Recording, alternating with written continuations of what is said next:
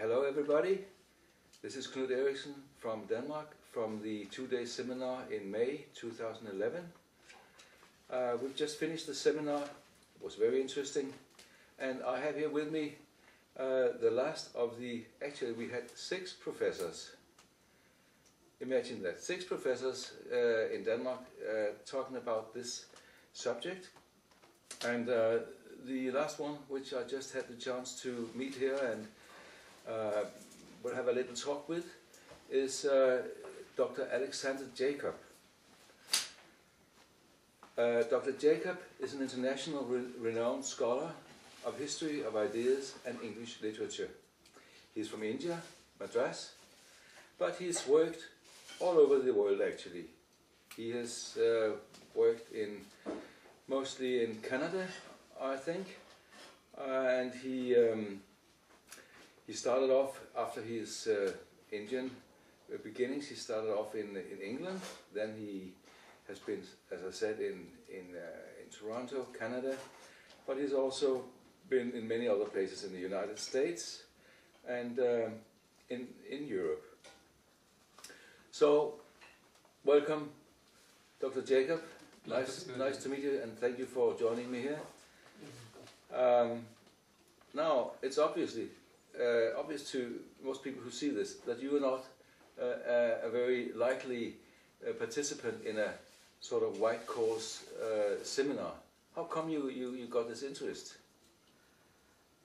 Well, uh, I'm interested in uh, all nationalist cultures and the preservation of local traditions in an age of international uh, multiculturalism and globalization. So uh, uh, I was invited uh, because of my books, the books that I've written on uh, idealistic, uh, natural philosophy and political philosophy. Mm. So, so you came quite natural that from being a resident of India um, and you learned English literature, I understand, was your uh, your first studies, and you were somehow you somehow ended up in, in, in, in England.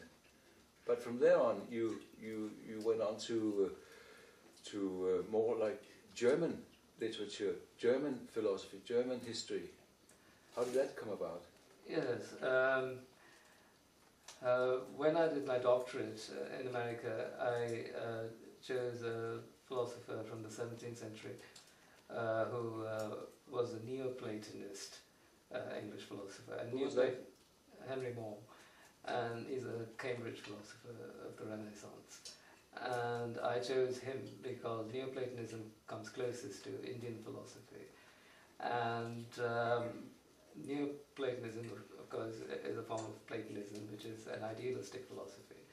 And uh, when I studied uh, idealistic philosophy further, I found that it was most fully developed in Germany, especially in the 19th century. And so I went on to study that, uh, particularly natural philosophy. So I wrote my book, uh, De Natura, uh, about the history of nat natural philosophy in Europe. And from natural philosophy to political philosophy is a very short step. And so I did uh, idealistic political philosophy, also in uh, Germany. And these are all uh, nationalist uh, philosophers, starting with uh, Chamberlain uh, and going through the Weimar Republic, the conservatives of the Weimar Republic, and ending with Alfred Rosenberg, who was a National Socialist ideologue. Mm. So you've been through the more or less the whole range of, uh, let's say, pre-Second World War uh, uh, philosophers uh, and uh, literature. And it's, uh, as I remember, you had concentrated a lot on the so-called anti-Semitic and actual, actual anti-Semitic, probably literature of the late 19th century and also later. Could you tell us a little bit about what that showed to you? Well, uh, all idealism is opposed to uh, uh, Judaism uh, and uh, Jewish thought. So uh, it is very, very clearly um, indicated in these um, idealistic political philosophers uh, and it, uh, it is uh, a point of view that I sympathize with because uh, I know from my own study of Indian philosophy that uh, Judaism is completely opposed to it, completely different uh, from it. And uh, so when I studied uh, idealistic political philosophy, that's conservative political philosophy, I naturally also studied the anti-Semitic uh, German thinkers. Came in uh, quite automatically. I, I would like to just read a few of the, of the titles here. They're pretty um, um, rather long titles, uh, which would suppose uh, it's natural when it's uh, very scholarly works. Um, give, maybe gives the audience a, little bit of an, an inkling of what, what kind of, uh, of uh, deep studies you've done in, in, in, in these areas. Like um, there was here reconstruction, a rec- Atman, a reconstruction of the solar cosmology of the Indo-Europeans. And um, we have one here, Henry More's A Platonic Song of the Soul. Henry More's Manual of Metaphysics. We skip a little bit because you already told us about uh, Houston Stewart Chamberlain, Political Ideals. Alfred Rosenberg, Political Essays.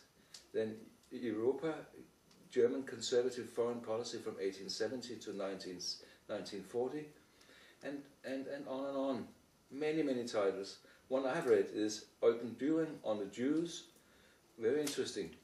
And would actually um, would be very nice to have that um, translated, of course, in other languages. Uh, there's one which is which uh, bears pretty much on, on our on our seminar the title of that, which was uh, the revolt against civilization. You have one here which is the rule of the inferior from 1930. Well, Right. what is the rule of the inferior here? Well, I would assume it was uh, Weimar uh, conservative, uh, and uh, he uh, was opposed to the current rulers of, of the day, and so he actually um, was an advisor to Papen, uh, who was. Uh, of course, uh, connected with the Reich. But he was against National Socialism, and so he was assassinated by Hitler uh, during the Night of the Long Knives. Um, so there are many strands of conservatism uh, that were developed uh, before the Second World War, and uh, his is uh, a major strand because uh, Weimar conservatism is, is quite well known. I see. So both on the account of uh, of anti-Semitism, the Jewish problem, um, the culture of uh, Europe as we uh, have it today compared with what was before the Second World War, you're pretty well qualified to have an opinion on what we see today. Um, could you tell us a little bit? What, what did you get out of the uh, uh, of the seminar we had here? Did you could you just in a few words, maybe not so few words, tell us what did we reach there?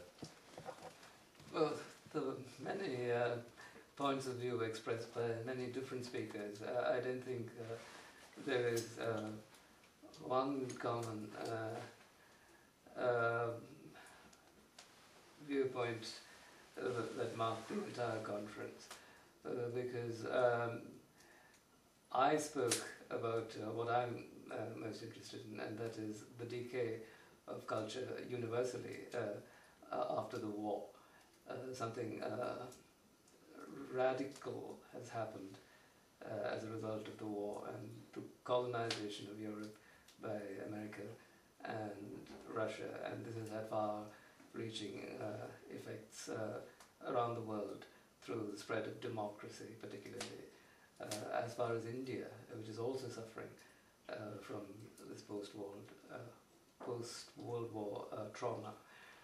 Um, that is what uh, I'm interested in. That is what I spoke about uh, using uh, uh, a book written by uh, Hans-Jürgen uh, Syberberg.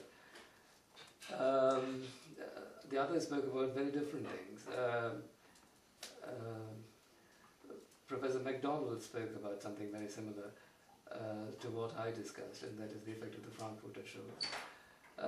in in America, particularly because the Frankfurt School um, emigrated from um, Germany to America and then uh, conducted its work, its uh, cultural Marxism uh, in America. Um, apart from that, uh, I really can't say very much about the other lectures because uh, I'm not uh, specialized uh, in these subjects. Professor Nyborg spoke about IQ, which I'm not interested in at all because uh, I don't think it's an indication of any cultural development at all.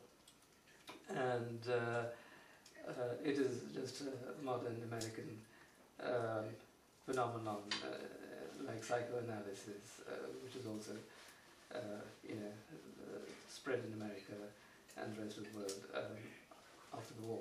So um, I cannot say much more about that. And uh, the others were about completely different subjects. Uh, um, so um, I don't think there's a common strand in, in the conference. All right, I see. Um, so Americanism, in its in its uh, different uh, uh, aspects, is what you see as the uh, main evil today. What Right. what would you suggest Europe does? I mean, we are totally uh, influenced by American culture, if you would call it a culture. You probably wouldn't. Um, uh, and what can we do about that? What would you suggest we can do? Well, I mean, one thing is clear, and that is Europe has to become independent of America. Uh, it is now too closely tied to it, especially through Britain, uh, which is the closest ally of America. Uh, Britain is actually a far greater uh, nation than America ever will be, but it uh, contents itself with uh, acting a subservient role in this alliance that they have with America. And through uh, Britain, uh, this influence of America spread all over the continent. Um, so um, the uh, divorce of Europe from America is a condition for continued development of Europe uh, as uh, as Europe. And uh, if uh, Western Europe needs any assistance, it must seek it from Russia and not from uh, America, because the Russians are Europeans and uh, natural kin of all the Slavic nations uh, in uh, the eastern part of the present European Union. Is America is not a natural kin of any of the European nations, not even Britain. Is that because, uh, um, like uh, I think it was uh, Dr. Sunić said that the Americanism, which he's also treated in his book, uh, uh, was it Homo America- Americanus, which he says is the uh, pers- personification, I think, uh, of the Jewish spirit, something like that. Is that is that because America has become so much so Jewish uh, that I mean that's it's it's like being governed through uh, Israel. uh, through Israel, or by, governed by the U.S., but actually by the, the Jews uh, through Right. the U.S. Right.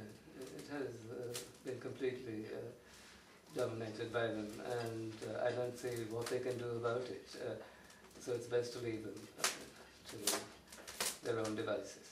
Hmm. Is it, is it realistic at all with you know with our, our implication with the NATO and and and, and the, general uh, good feeling about Americans and the, the, like the free people as, as as opposed to Russia, which has this bad uh, PR uh, image. Right. This is all propaganda, and the Russians are much nicer people uh, than the Americans. Uh, generally, I mean, not the American people, but the American government and the ruling elite, and so on, the intelligentsia. So uh, this is uh, just the effect of propaganda. Uh, and as for the alliance with NATO, it, can be broken, should be broken.